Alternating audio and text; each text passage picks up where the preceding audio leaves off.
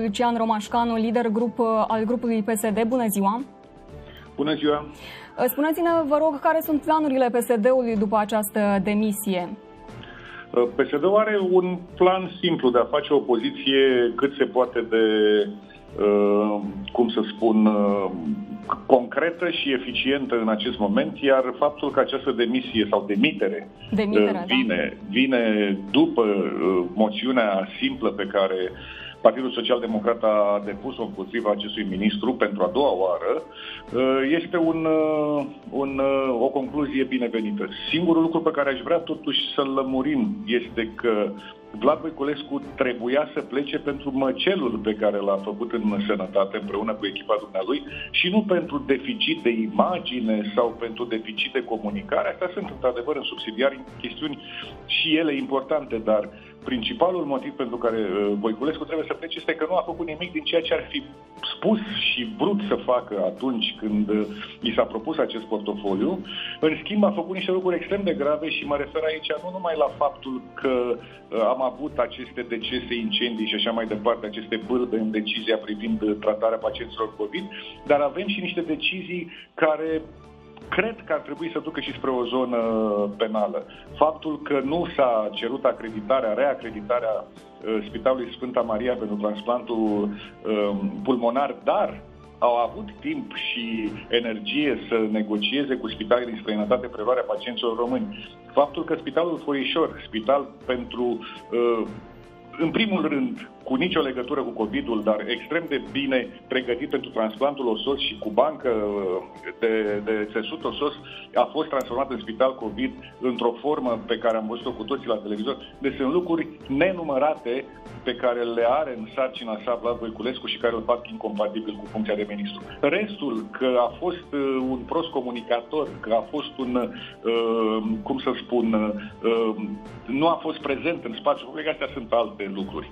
A fost un ministru slab, rău intenționat, fără niciun fel de pregătire pentru așa ceva, iar plecarea lui este târzie, dar până la urmă un act de normalitate.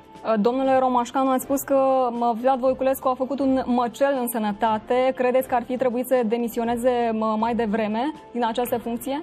Ar fi trebuit să demisioneze de foarte multă vreme. Noi nu înțelegem de ce această obstinație a USR-ului de a-l susține cu orice preț este un soi de a lucra în echipă prost înțeles în orice echipă, dacă un jucător nu se ridică la nivelul așteptărilor, el trebuie să plece. Bănuiesc că au resurse, deși e destul de complicat să le vedem aceste resurse ale USR-ului. Știți că dumnealor au promovat miniștri în urma unui concurs intern. Dacă este maximul ce au putut dumnealor scoate la economie cu năsui care e un dezastru, la transportul cu trulă, la sănătate cu Voiculescu, am mari dubii că au resursele necesare, dar Voiculescu trebuia să plece de mult și zidul în jurul lui nu a făcut decât să facă rău managementului sanitar din România. Pe lângă Vlad Voiculescu a mai fost demis și secretarul de stat din Ministerul Sănătății Andreea Moldovan. Care credeți că sunt motivele în cazul uh, uh, secretarului de stat? Păi constatăm la modul general că există, cel puțin în ceea ce privește acțiunea sau activitatea USR și PNL, cred că există un uh, fel de, de, de acțiune biguvernamentală. Noi avem în acest moment două guverne. Faptul că Ghinea la fonduri europene nu discută PNRR-ul cu Câțu și cu Partidul Național Liberal, faptul că doamna Moldovan dă un ordin peste noapte nediscutat la nivelul guvernului, arată că dumnealor sunt un grup separat de restul guvernării, iar uh, acest lucru se plătește. Doamna Moldovan era de fapt un ministru sănătății și cred că pleacă și din acest motiv.